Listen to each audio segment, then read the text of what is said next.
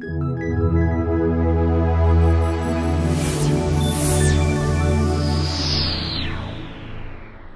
well, good afternoon, everyone. This is Scott Gallagher here with Local Marketing Source, and we're about to start a very exciting webinar today. Well, at first, I got to apologize. I woke up this morning. I'm a little bit under the weather. I've got uh, got a cold and, and, very, very tired, but I'm going to try to keep the energy up.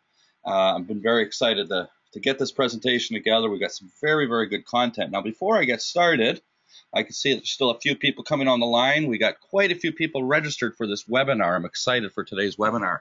But I'd love to know where some of you guys are. Uh, just a little bit of uh, housekeeping items for uh, GoToWebinar, the software we're using. At the end of this webinar, I'm going to ask and open up the floor for discussion and questions that you may have.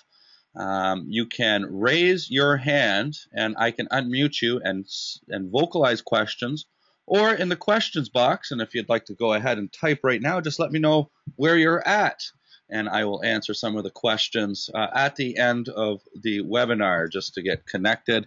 I see we've got, well, we got GG from Phoenix. I'm going to be in Phoenix in a couple of weeks. I'm going to the local search summit. So uh, if you get a chance, I would love to, to meet you and, and go check out that summit. We got some LMS students there. Actually, I've got a uh, a student from Local Marketing Source. He's been with us for two and a half years. His name is Josh Nelson. He's speaking at the Local Search Summit in Phoenix in a couple of weeks. And Josh started with Local Marketing Source, leaving a full time job. Uh, started with zero sales, and in a three or a two and a half year period, he got his business up to two and a half million dollars.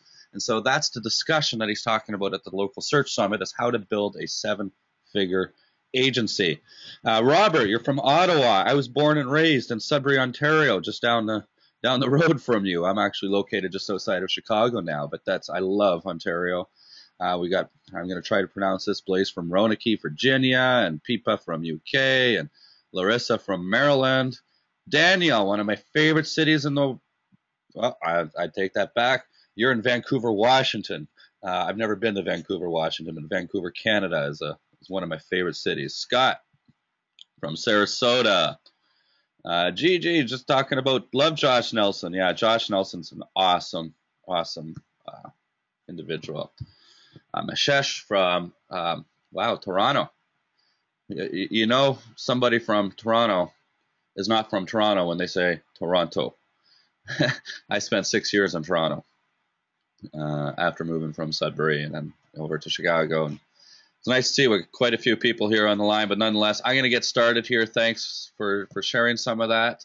Uh, for those of you that don't know who I am, I'll tell you a little bit about myself. My name is Scott Gallagher, and I'm a father, entrepreneur, adrenalist. I like to do different things like snowboarding and jumping out of planes. You see a picture of my uh, son there.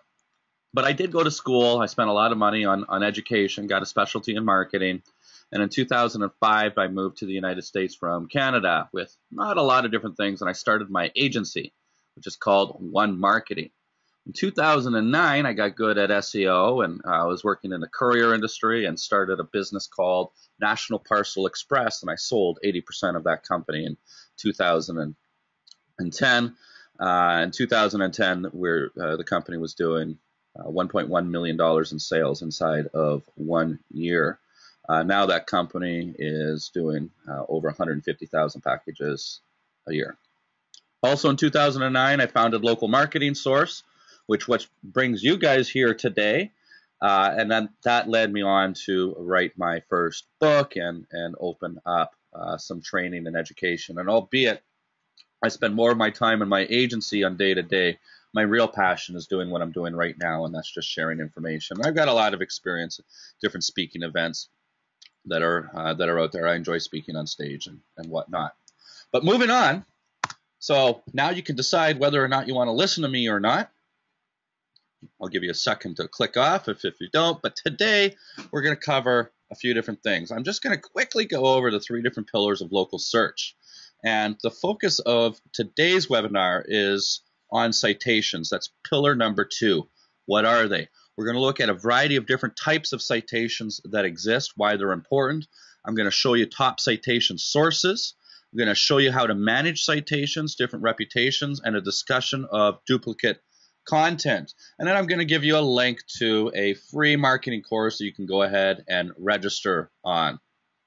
And then finally, um, any questions that you might have, and we will answer those, and we'll allot uh, 30 to 40 minutes for that.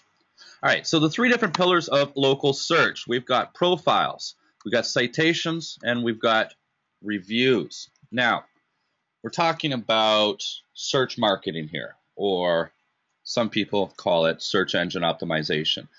For those of you that don't know me, I differentiate myself. I try to distance myself with SEO. I have been for quite a few years. The reason is, in, in, in a nutshell, is that search engine optimization is the process of optimizing website to satisfy the needs of the search engines. That's not what I do. That's not what I teach. I'm not a fan of utilizing a whole variety of different tools, uh, albeit I'm a very analytical individual and I like data. Uh, I don't consume myself with uh, a lot of data that's out there. Now, taking a step back, I come from a marketing background. I've got 20 years of business to business sales experience. And the definition of marketing is creating content that resonates, that has value for an audience, which includes prospects and customers, and distribute that content to an area that these prospects and customers reside. That's all that marketing is. It always has been, and it always will be, well before the internet existed. Well, search engine optimization, all the different practices of search engine optimization that we learn about, is exactly what marketing is, except in the SEO world, we've found ways to distribute that content that really doesn't have relevancy to an audience, but the search engines kind of like it because it creates the busy restaurant syndrome. So you're gonna you're gonna see some of this if you, if you haven't learned and, and understand some of the LMS flair. Um, we're gonna we're, we're gonna share some of that, and you'll be able to see some of that. But now we're gonna move on to pillar number two and talk about citations. Now with profiles, pillar number one, these are best practices of profiles that exist on a variety of different sites. We've got a webinar that exists. There is a public piece of content available on the local marketing source blog that you can go and watch. It discusses profiles as well as reviews. This is the final of the three on citations. Now, citations and links. They say the citations are the new link. Uh, links and citations, in my opinion, are the same. Um, they are just a merely an exposure of business properties out on the internet. So citations, when we talk about citations, what they are are web references. And the best way to get a web reference is with a link or and or with what we call a NAP, or you know, NAP stands for name, address, and phone numbers. And there's a variety of different places that local businesses can go and get their business listed on different areas of the internet. And this might include data providers or public sources. We're going to go over some of these in, in great detail. Uh, as well as we're going to go over some different acquisition strategies to look at these different type of citations that might exist. So on that note, let's move forward and take a look at the different types of citations that exist out there. No, this is not like traffic citations, but I should have animated this one. Um, but we're going to go through and I'm going to talk individually about these seven different types of local citations, which are public sources, data aggregators, local search engines and data providers, local-based websites, which are like local-based blogs and directories, theme-based websites or industry-based websites, different blogs and directories, and a list of non-conventional citation ideas for local businesses. Now, I want to talk about public sources first because it is an area that has a tremendous amount of authority. Now, authority is a very important word in the world of internet marketing. It's an element of trust, and you can just think about it in the real world that uh, a doctor is an individual of authority when it comes to things that are wrong with our body. A chiropractor that has gone to school is an individual of authority that has to do with the spine and spinal manipulation.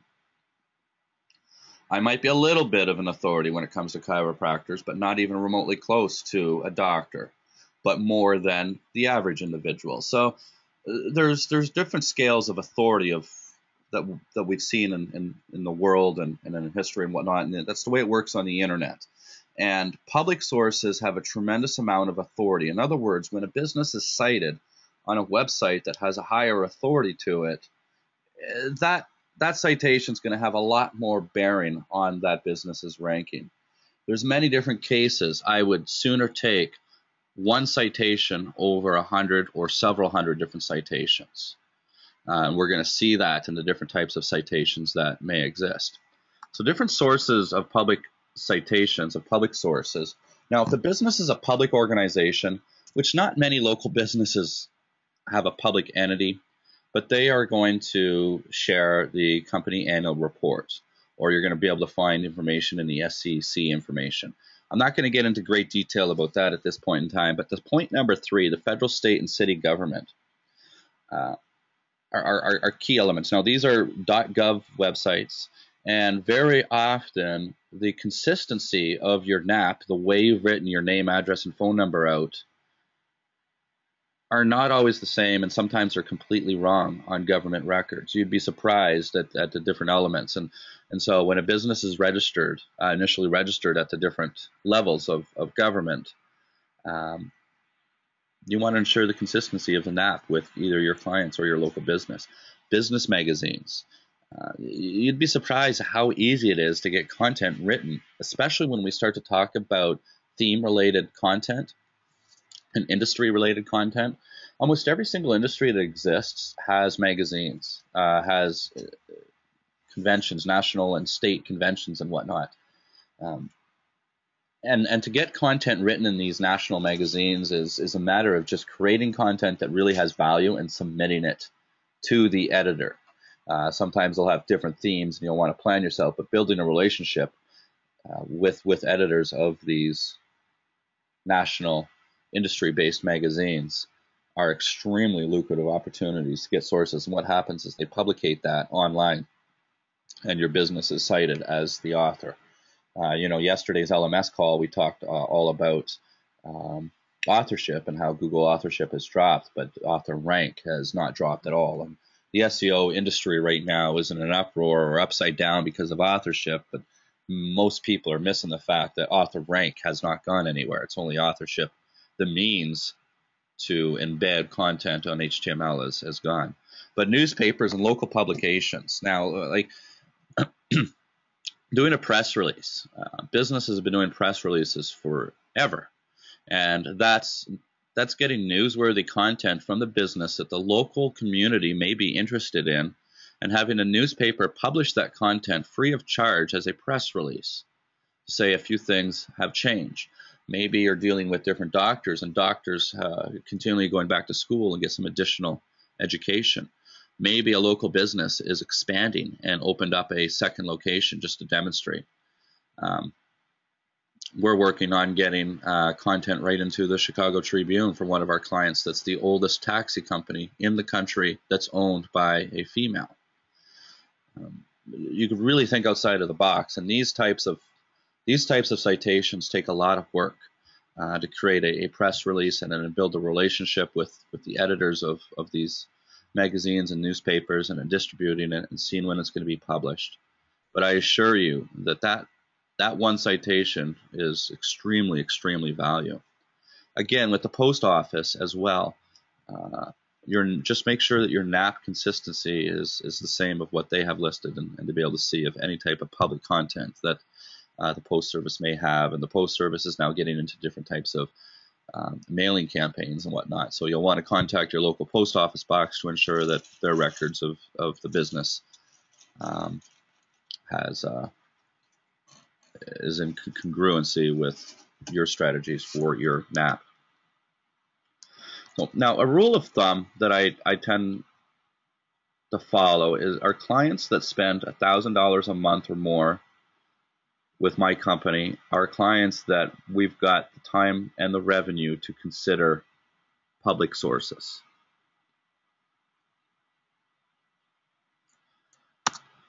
All right, I'm just going to check to make sure that there's no complaints about audio or anything like that. Uh, well, thanks, Lex, for stepping up and saying you're from Vancouver, Canada. Um, thanks, Gigi. I appreciate that. He says, well, Josh learned from you, so Scott, you're even more awesome. I appreciate that. And I got George on the line, which is an LMS student um, from local, Windy City, wonderful city of Chicago. All right, go back to PowerPoint here. Make sure my screen sharing is good. Now, data aggregators, all right. Data aggregators, they are in the business of collecting information and ensuring the accuracy of that information. That's what they do. Uh, this is what these guys hire people for. This is what they set out to do. And they collect data from a variety of different sources like phone books, uh, business groups, phone and banking records, uh, different databases from online business registrations online. So when you've got a person that is calling up a business just to verify their address and the authenticity of, of that business, at the same time, they are looking at phone records, uh, different business groups. They're looking at databases from business registrations. Their data and their data accuracy is solid. And so the major search engines in the United States, I, I can't speak around the world, um, but I would safe to say that in Europe, Canada, and Australia follow this these exact four data aggregators as well because they are international organizations. Now, the major search engines pull information from these four data aggregators, and that's Infogroup, Neustar, Acxiom, and Factual. It's important to know and work with these data providers to ensure that their information that they have on file is exactly with what you want your NAP to be. Now, moving down the line in terms of authority and accuracy of information, we're going to move to local search engines and data providers. And obviously, there's a variety of different major search engines that exist. I'm not giving you guys the full list of everything that, that would be out there. I'm giving you the top of the lists. Uh, the fact of the matter is, is we only have one hour for this presentation, and I can spend an hour or two just talking about search engines and data providers. Uh, different search engines and data providers have different authority into different uh, localities. I will get into that and give you the tools on how to prioritize your list for your clients uh, moving forward. But just knowing that the, you know these are some of the major search engines. Of course, YouTube could be on there; they're the second largest search engine. Uh, different major data providers uh, in the United States would be Yellow Pages or UBL, as well as InfoUSA.com. Um, major data providers are competitors to data aggregators. They're just not as good in the eyes of the search engines. That's why we have to label them differently as major data providers. And again, the major data providers, uh, ensuring if, if, if you got accuracy within the four top data aggregators and three or four of the top data providers, you know, as well as InfoUSA maybe one, uh, Yellow Book would be another major data provider. You're going to have accuracy of information strong enough that the secondary data providers that do and collect uh, their data and they scour the internet. When you go and claim your listings, for example, you claim your listing at Yelp, um, which, you know, Yelp isn't even on this list. Just take a screenshot here. This is also being recorded for you guys. You guys are going to get access to the recording, uh, but not not the live questions at the end. We do not record the live questions. All right, so moving on, we've looked at different types of data sources. We've looked at local data sources. Uh, sorry, not local. We've looked at public uh, citation sources. We have looked at the major data aggregators, and now we're looking at local search engines and data providers. Next, we're going to look at local-based websites. Now, local based websites are going to be websites that have to do with the local community. They may or may not have to do with the industry of the client that you may be working with. But the local search engines, of course, uh, you know, Google local or, or when Google shows its local results in its SERPs, that's the local search engine algorithm that's making calculations and embedding their results into the Google search engine. But with local based websites, more so than local search engines, are local blogs.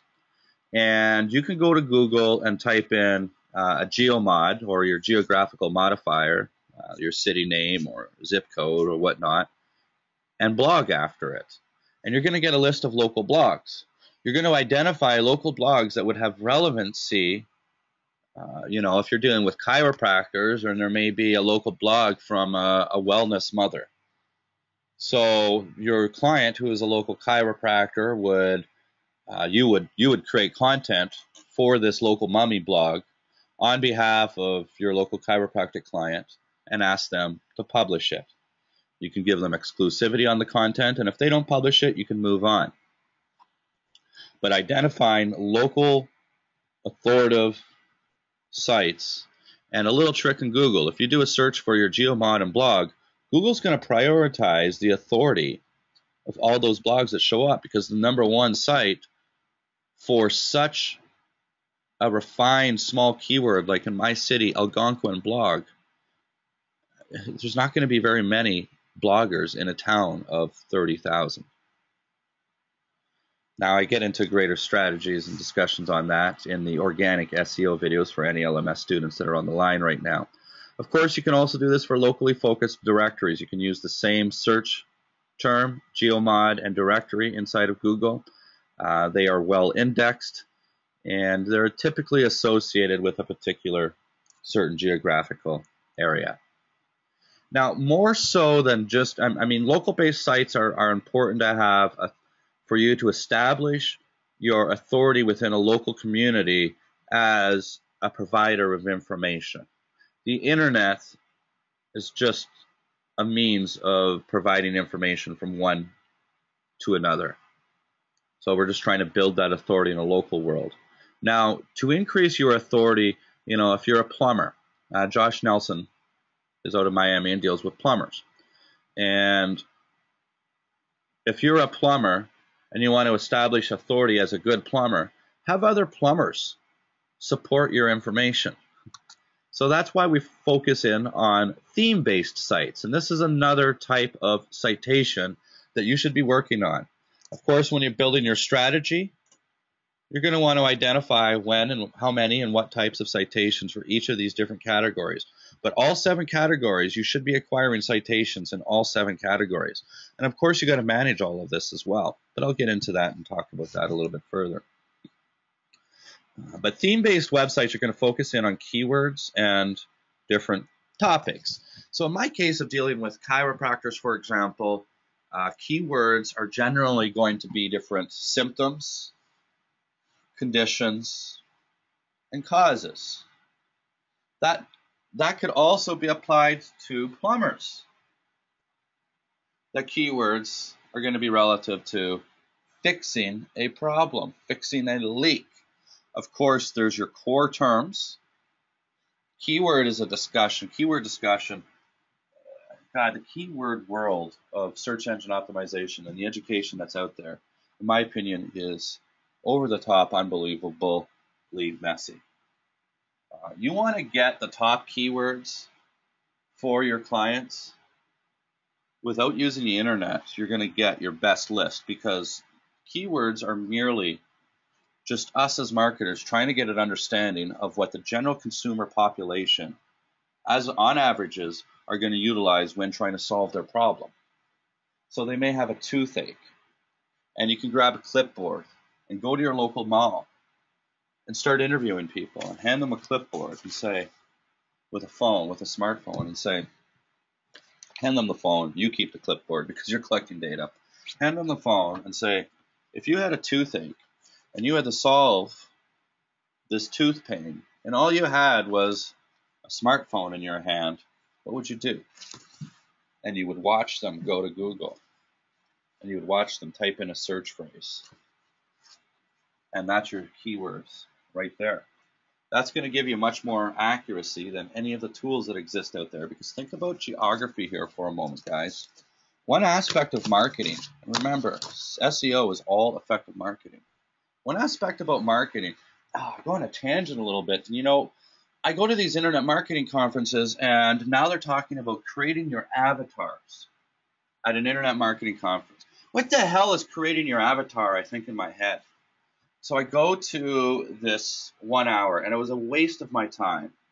Because at the end of the day, all that they were teaching me was customer segmentation. And I was blown away at the internet marketing industry that they just started to figure out that wait a minute, we've got to start segmenting our audience before we can start creating content that's relevant for them. Holy shit, that's the very first thing in Marketing 101 that they teach you when I went to university, first year. Customer segmentation, and you segment your audience based off of different groups and you put them into different profile groups. Well, of course that's important. Of course it's important to understand who you're creating internet marketing content for. Take two chiropractors, for example. They go to the exact same schools. But one of them goes out into the marketplace and says, if you have back pain, I'm going to take care of you. And chiropractor number two turns out and says, I'm a wellness individual. Eat right, exercise, and get adjusted. And then you're going to live a life of wellness. One's like fixing a toothache, and the other one is like brushing your teeth for preventative maintenance. They're black and white. They're two very different positions from the same chiropractor, uh, from the same chiropractic school. It's all about positioning. So chiropractor A and chiropractor B are going to create two different types of messages.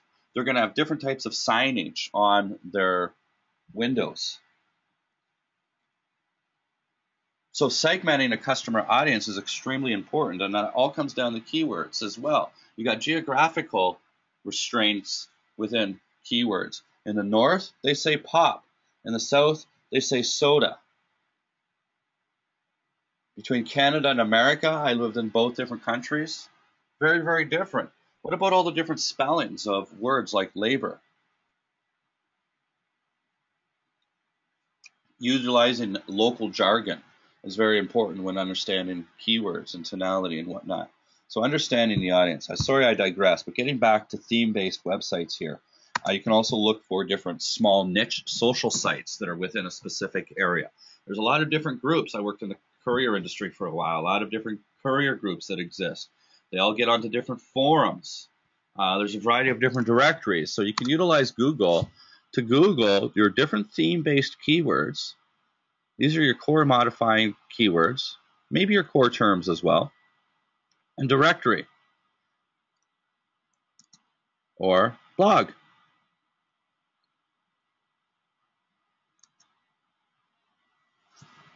All right.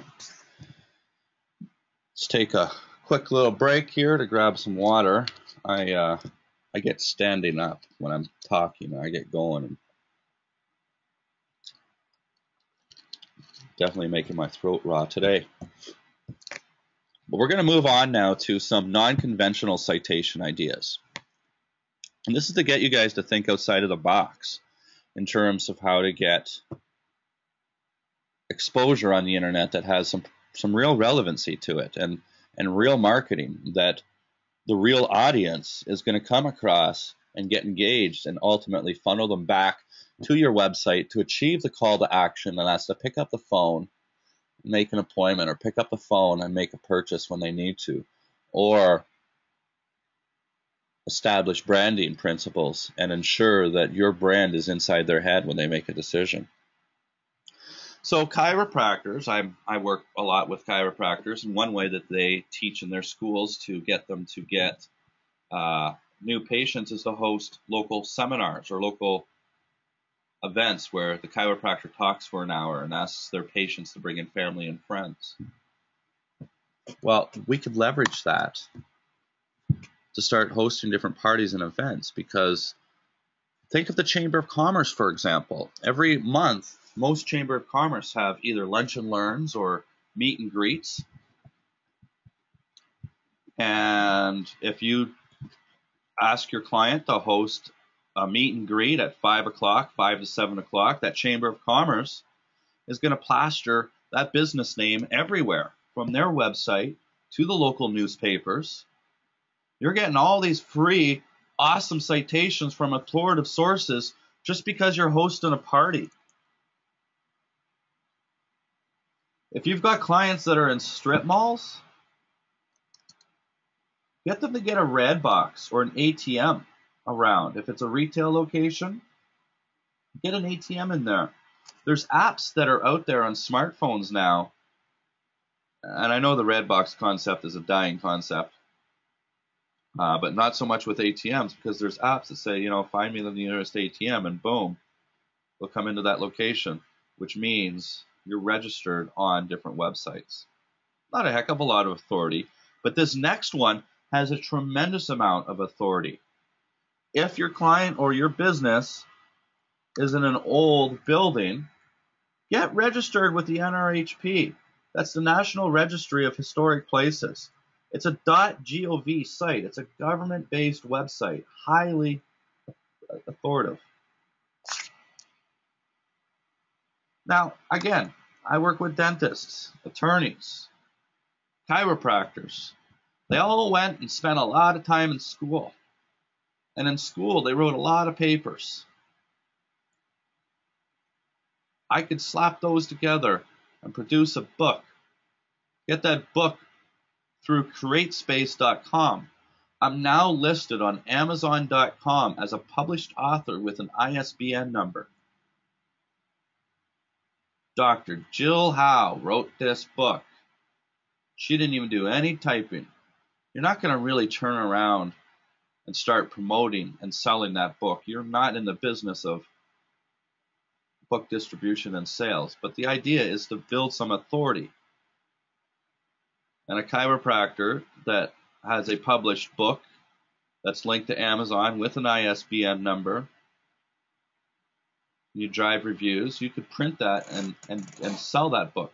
You could also utilize that book as an opt-in on your client's website to capture email addresses to help upsell the email marketing service. A lot of different ways to get citations by writing a book. If your clients have a waiting room, offer free Wi-Fi and get that free Wi-Fi listed on free Wi-Fi sites. It's just additional exposure.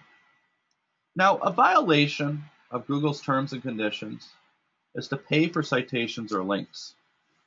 I never will teach or recommend or employ strategies inside my agency that are a violation of any of the major search engines.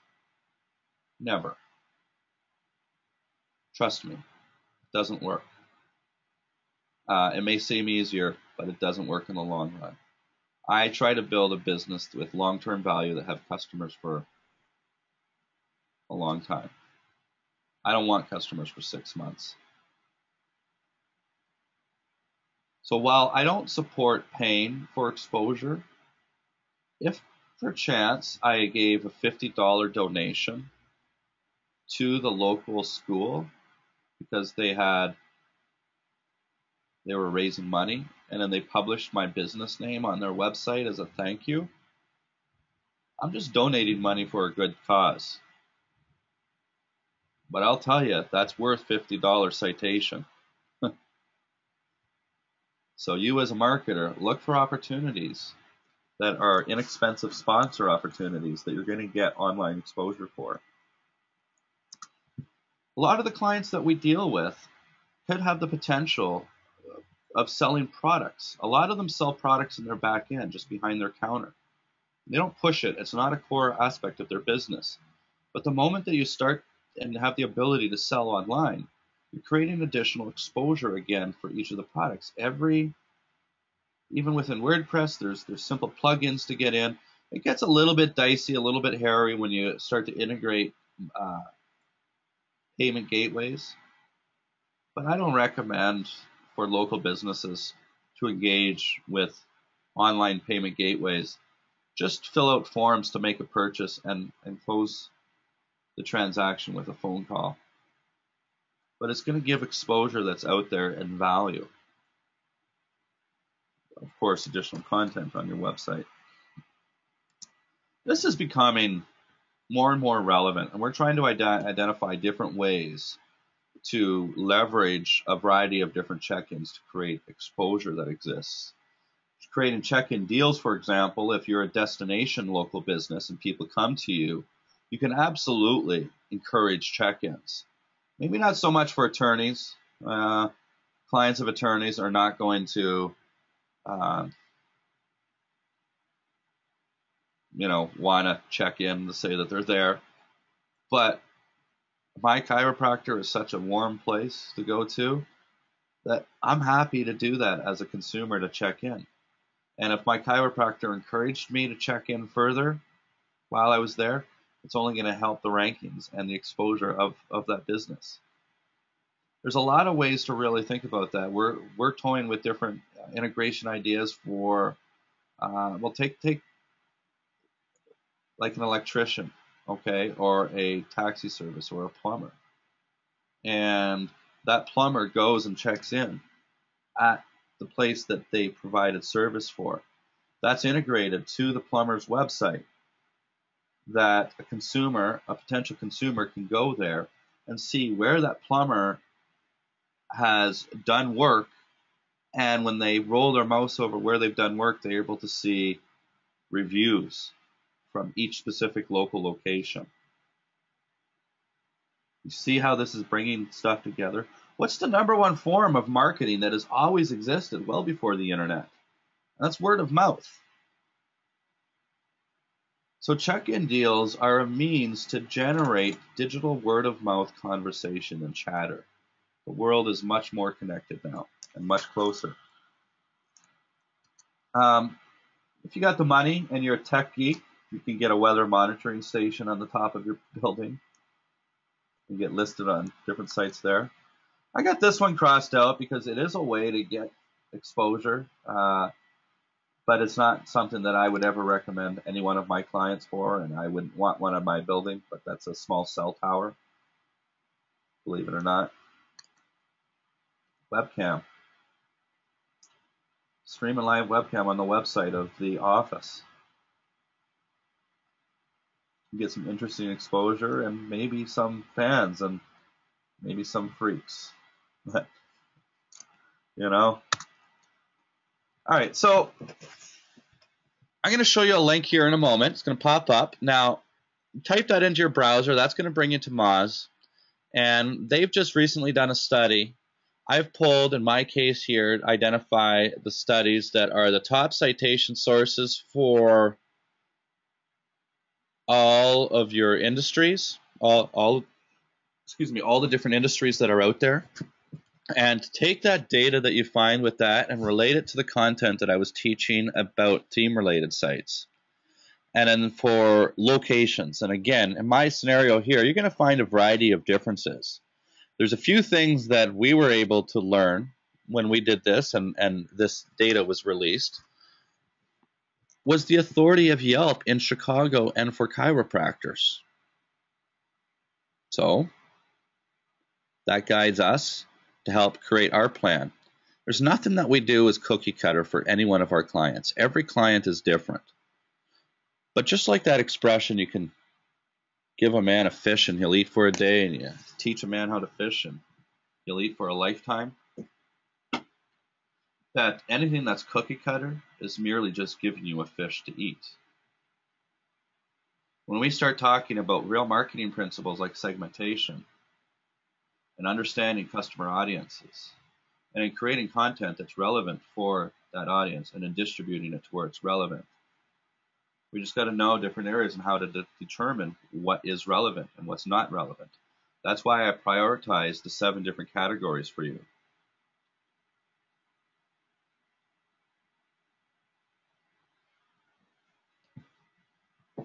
Okay. Now, uh, another major topic for these services are and and dealing with citations is duplicate citations. Now, I don't have time to get into the great detail. I've got a variety of different content that discusses how to handle duplicate content and how to remove it. Not duplicate content, sorry, I'm talking about duplicate listings. If you go to a tool, uh, if you type in moz, moz.com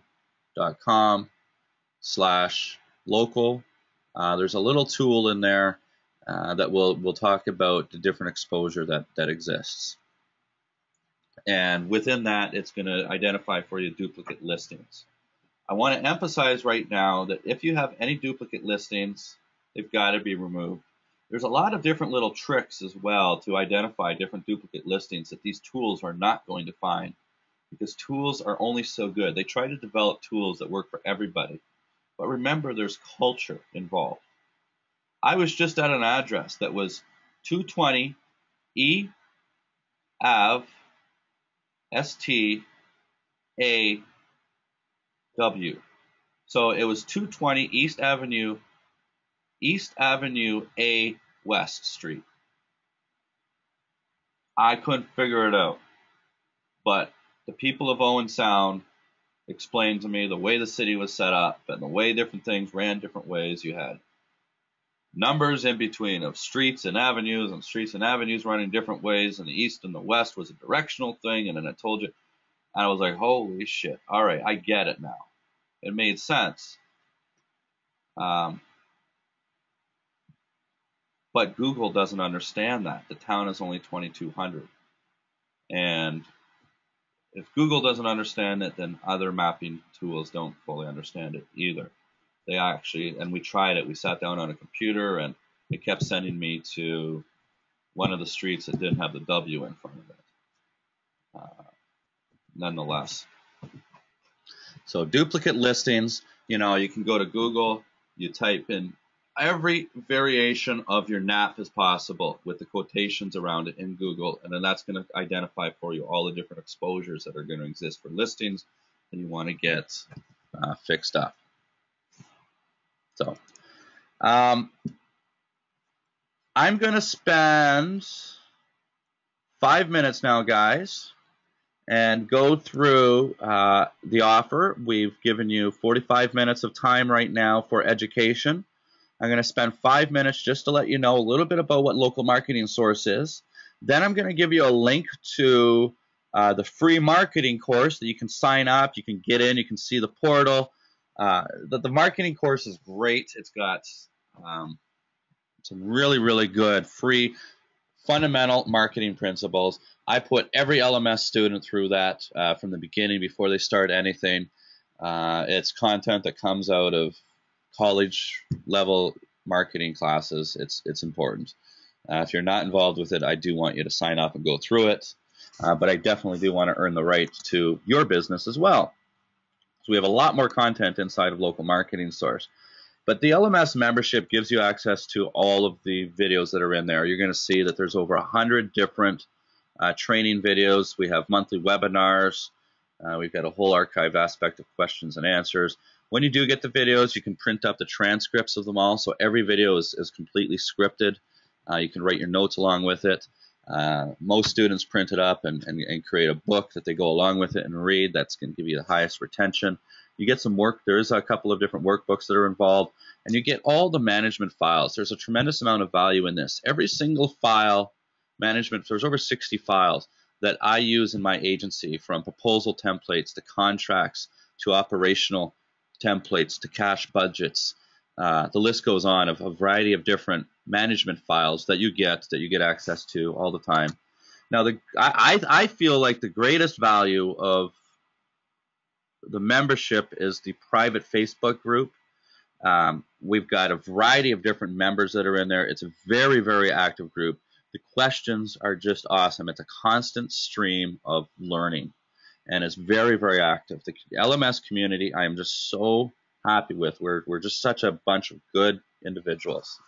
And then, of course, you get access to the weekly uh, member calls. Once a week, we get on, talk about and digress what happened in the last week, any of the top news for local, what things have changed, algorithms, and, and all that stuff. I, I read I read my coffee. I read my news in the morning while I drink my coffee, and then uh, once a week deliver everything that I've found based off of all the different sources that I, I frequent. You also get uh, student hot seats. Uh, these are students that we put on the pedestal, and they talk about their experiences, and other students ask them questions. What have you done? How did you do it? Uh, Josh has been on the hot seat twice in the last two years, and uh, now he's doing interviews and, and whatnot. So some of the reasons why you might want to get this, depending on where you're at. We've got individuals that uh, come from, uh, well, they went to school to become an attorney. Now they want to become an internet marketer, and they're fresh and new into it. All the way to established agencies. Uh, Josh is still a paying member. He's you know doing three million dollars a year. Uh, we have Nick Dale. Uh, he just came back um, to rebuild his agency after going into the corporate world for a little while. Uh, you, you, know, there, this this program is available to all levels of internet marketing in your agency, from the beginner to the advanced individuals, because you do get ongoing support with all of this. Uh, whether your questions are going to be answered by the LMS community or, of course, the LMS faculty. And we do provide fresh content weekly, uh, monthly with webinars. Um, continually, we're trying to always bring in the most relevant content that's available to the local internet marketing community. And finally, of course, as you know, uh, we're not just trying to train here. We do do this for a living. So just some of the areas that you're going to get access to content to. I mean, this is straightforward. This list can go on and on and on. You got to remember that there's over 100 different, over 100 different videos uh, that are available. Um, now, I could probably log in and show you guys the portal here. Um, give me one moment if you'd like to see this. While we're doing that, what's going on here?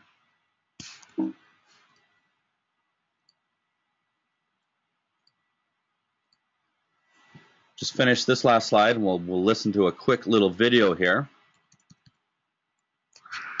Something's going on with my audio. Give me one quick second here. Not one quick second, but there we go.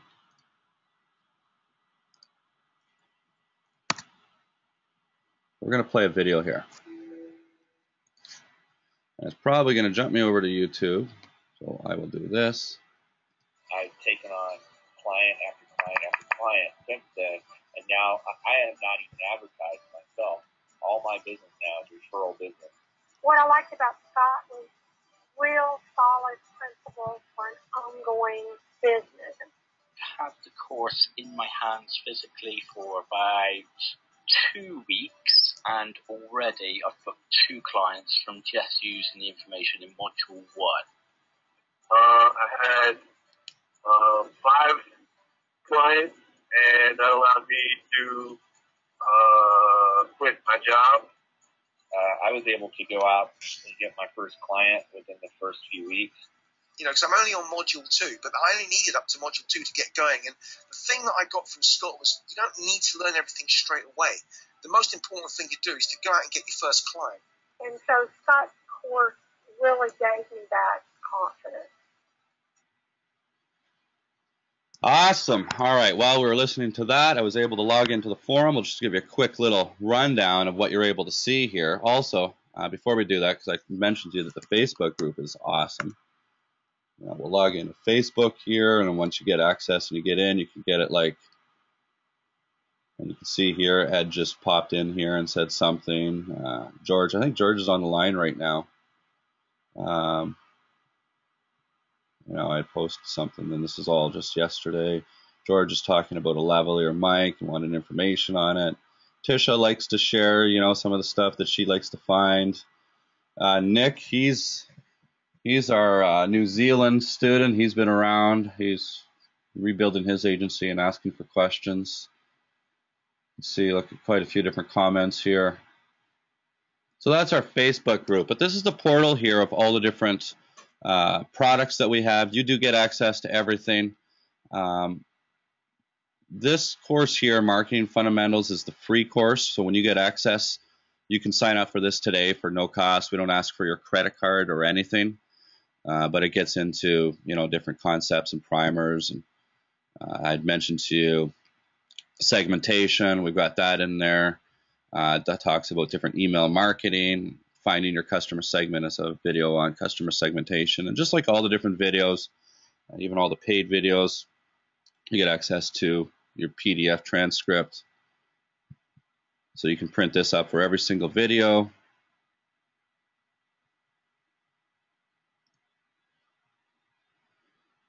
And then over here, uh, all of our member calls for all the different months and different years.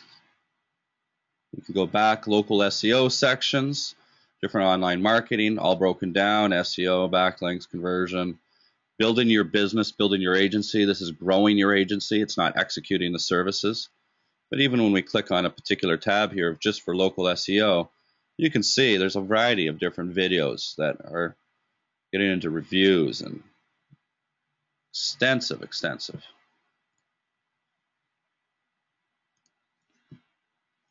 Okay, now just a little bit quicker here, guys. Just some of the support that you're going to get um, with all the video training and whatnot that you receive. You know, you can stream it onto your laptops, your tablets, your smartphones. You can download the MP3s. You can get the transcripts of it.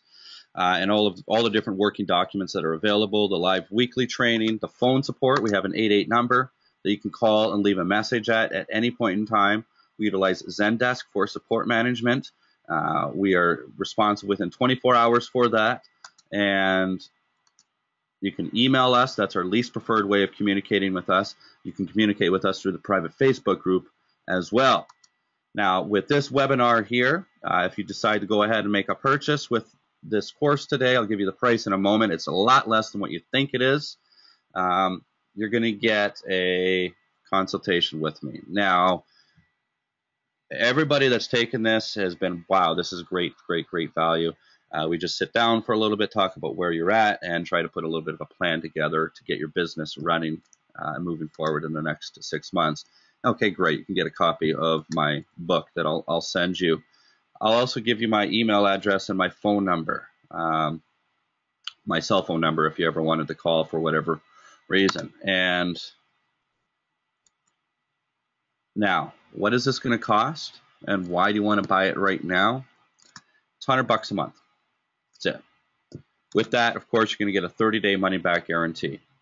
So there's no reason why you don't get in and see it. Our retention at Local Marketing Source, I'm extremely, extremely proud to say that our retention is very, very high. Our refund rate is extremely low comparative to the internet marketing community. I'm very, very proud of, of those numbers. We work very, very hard to satisfy our needs. If you don't think this is a fit, please don't go through it. We don't want to have to, you know, we, we want people that really believe that they're going to get value from this. Give it a shot. If they enjoy it and they feel like it's worth $100 a month, they stay. And they stay with us for quite some time because they realize the value that we help them build this business.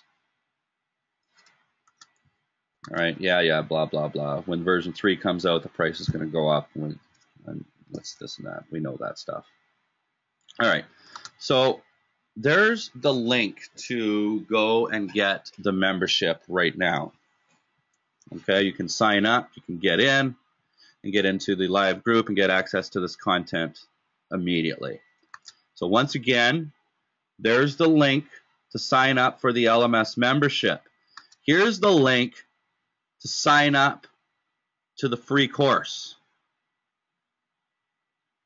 Either which way, take one of these call to actions today. If you haven't signed up for the free course, get in there. bit.ly slash LMS underscore MKTG underscore course.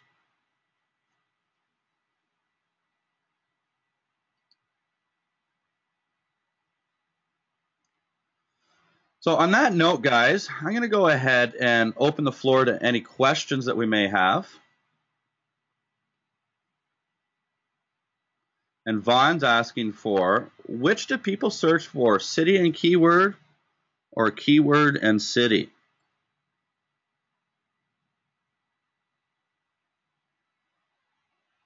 Well, um, with all due respect, Vaughn, I'm got the deer and headlight look with that question. Uh, you know, guys, there are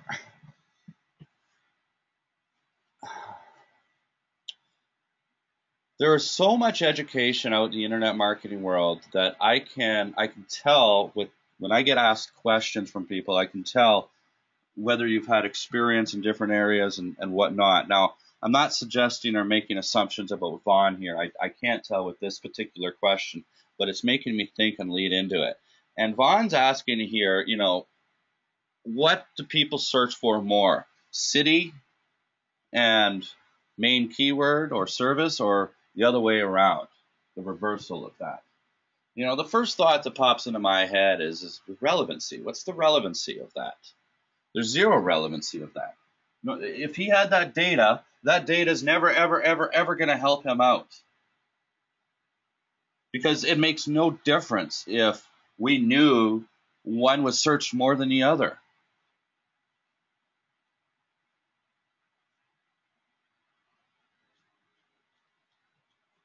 There, there's not one conceptual reason why I can think about why I would like to know one combination of a keyword is different than the reversal of it. Now, I know a lot of you on the other end are sitting there going, well, I don't know, Scott. Prioritization of keywords, search volume, you know, well, I can get into a whole dissertation and a whole argument of that. You can't give me an argument and tell me, honestly, with your eyes closed, and say, do you think a search engine is going to determine relevancy different between each one combination over another? No, they're not. The fact of the matter is, if a consumer goes to a search engine and types in a city name and then a keyword, or a keyword and then a city name, they're trying to find the identical information, at least in the business of local internet marketing. Jeff is asking, what is the best way to correct NAP? Uh, what is the best way to correct NAP mistakes and duplicates? Well, Jeff, I can talk for an entire hour on on that. I've got an entire presentation that discusses how to handle duplicate listings and how to handle NAP mistakes. Uh, there is not one best way to be able to handle it. Uh, maybe the answer to the best way is to follow a process. Uh, the first step of the process is to utilize the tools that exist. The tools that we use are BrightLocal or Whitespark or Moz to identify duplicate listings. The next step uh, is doing some manual searching, and I briefly talked about that. Um, but again, there's quite a bit that's that's involved with with that as well.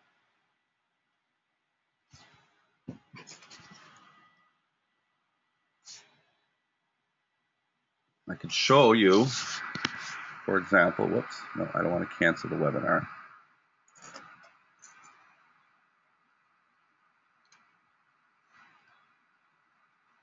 So I would type in, I would type in um,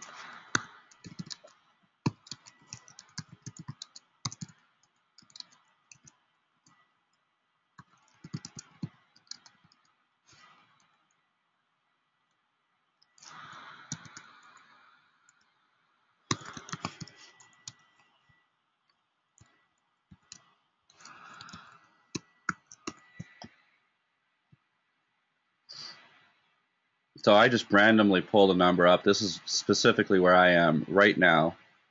Um, Google took that and, and mapped it for me and then found a listing on Brownbook and found a listing on our main website.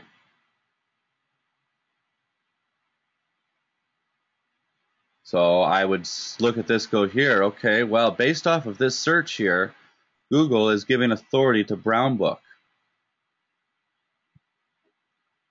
I can take my competitors, do searches for that, and then find citations that they have that are higher of authority, and Google has ranked them an authority. Interesting one here, an Atlanta-based website. There's a citation.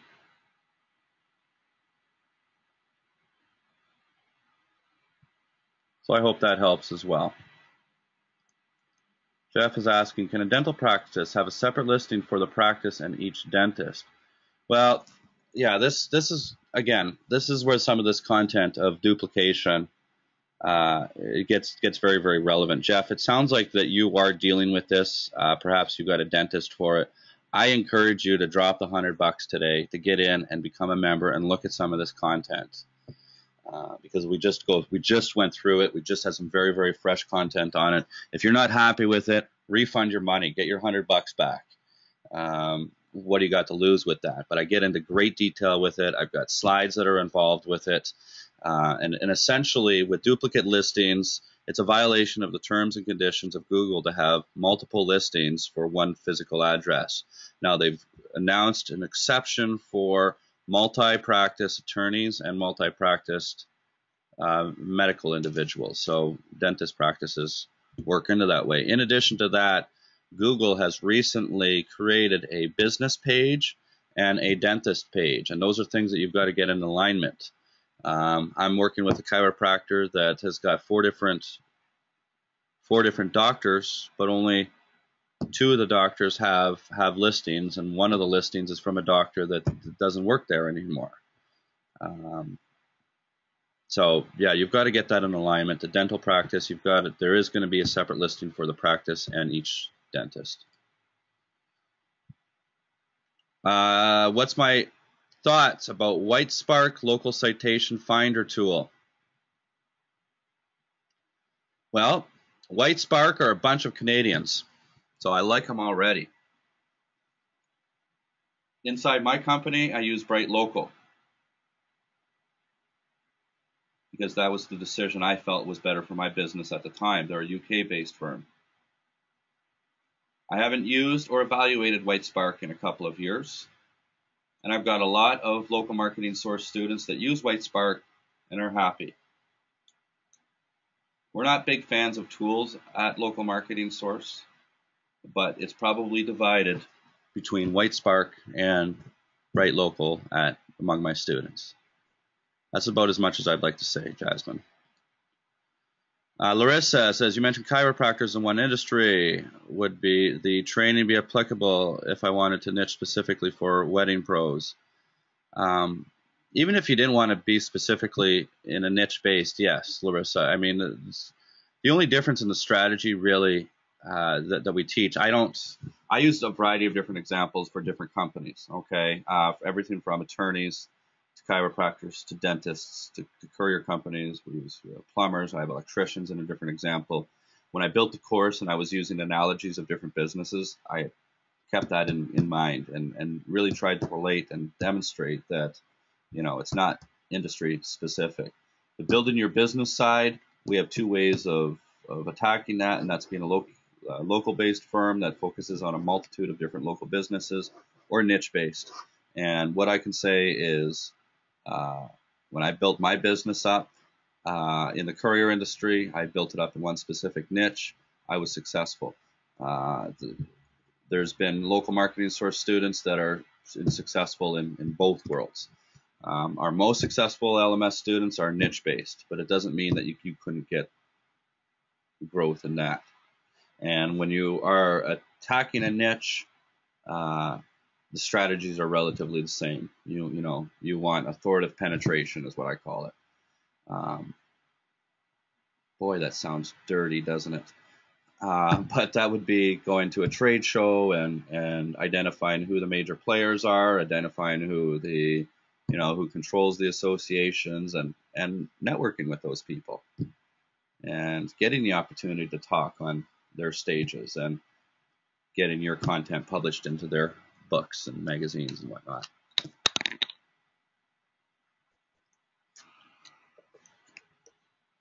Uh, Wa, Wabi. Oh, yeah, I guess I could post the links there, huh?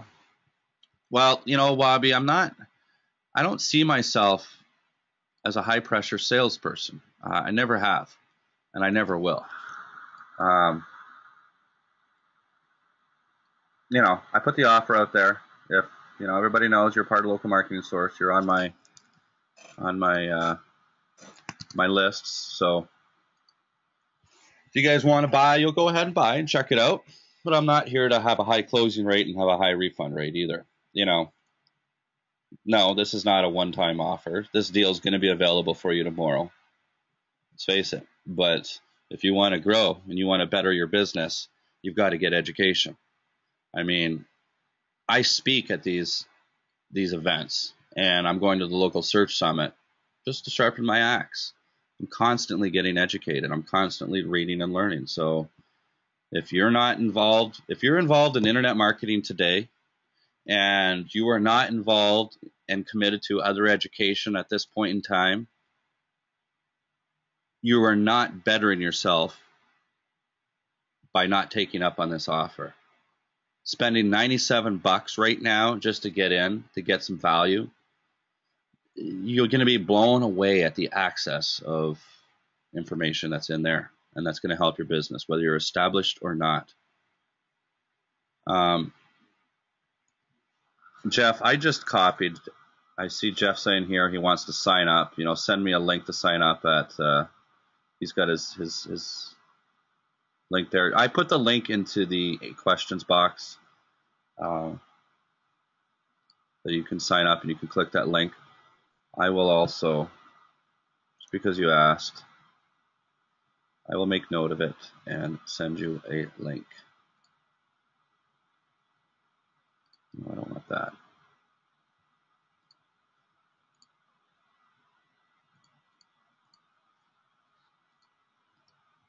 Why did they just make it so hard to open up Word? All right, Jeff is, I have an appointment now. That's why. All right. Um, Robert, besides the local search summit, can you recommend any other events? SMX. Uh, SMX is, is good. Um,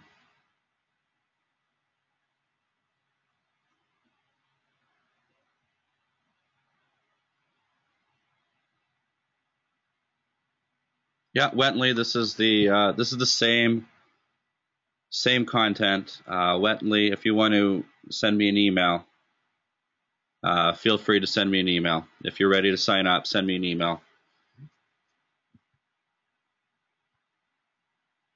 We'll take care of that for you.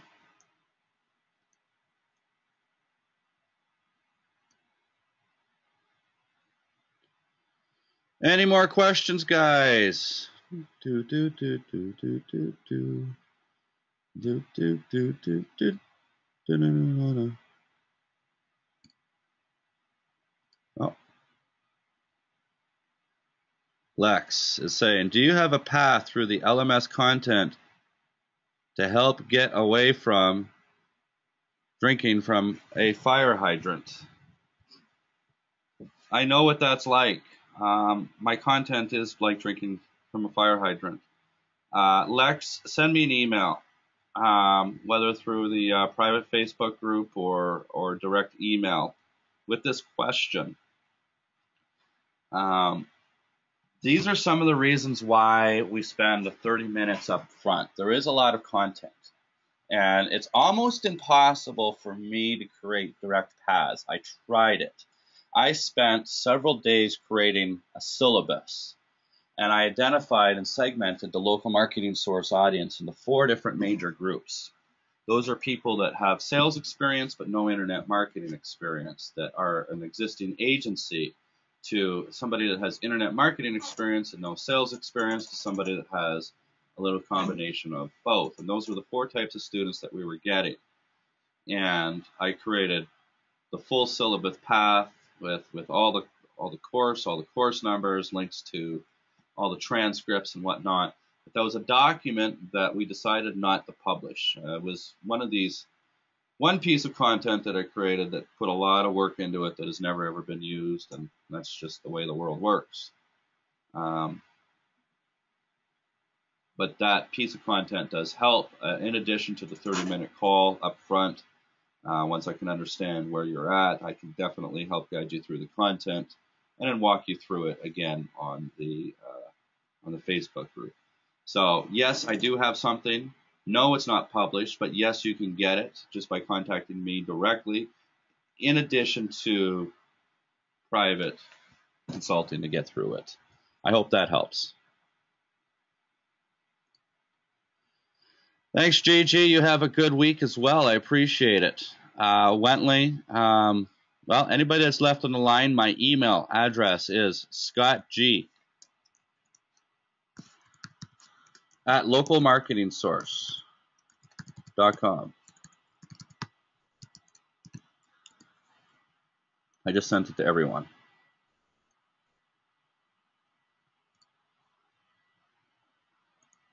See, I got a few emails that have come in. A few of you have already signed up. That's good. That's exciting. Sounds like Wentley's going to go ahead and sign up.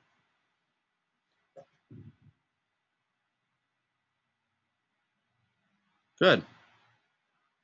Well, I am going to go ahead and end this call. I hope you guys got some value today. I hope you guys learned something.